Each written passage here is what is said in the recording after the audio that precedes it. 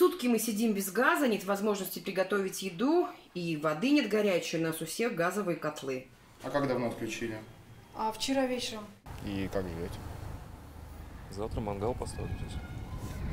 Костер разведу, не знаю. А вот ресурсовикам не до шуток, тем более с огнем.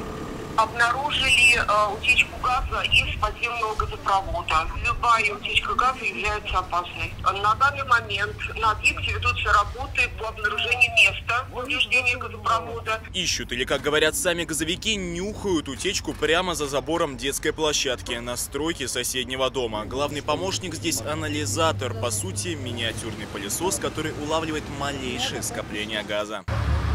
Володь, в эту сторону тогда. Может, и побежала. Куда это? 220.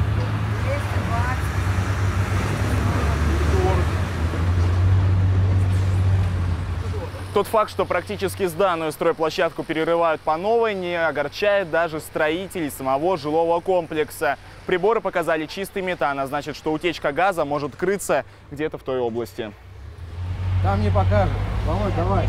Работают только так, до последнего, пока не найдут источник угрозы. Бывает, на это уходит не один день. Если вы там найдете, Ну, будем разбирать под опрессовку, сгону ставить. Вот здесь заглушки, глушить все вода и опрессовывать. Причина уже установлена, отмечают газовики. Просел грунта, тяжелой техники. Только вот без газа три многоквартирных дома будут оставаться и впредь до полного устранения аварии. Иван Савинов и Евгений Бушуев. День в событиях.